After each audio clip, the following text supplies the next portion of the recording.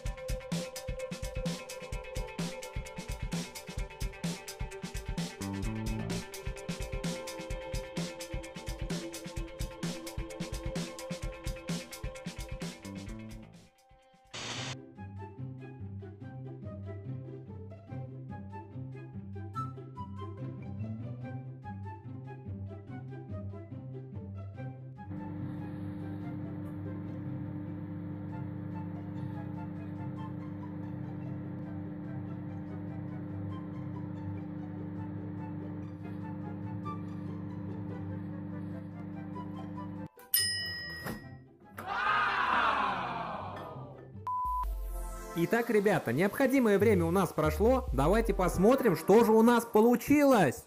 Кекс готов. Сверху кекс можно посыпать сахарной пудрой, или у кого нет пудры, можно кушать и так. Приступаем к завтраку.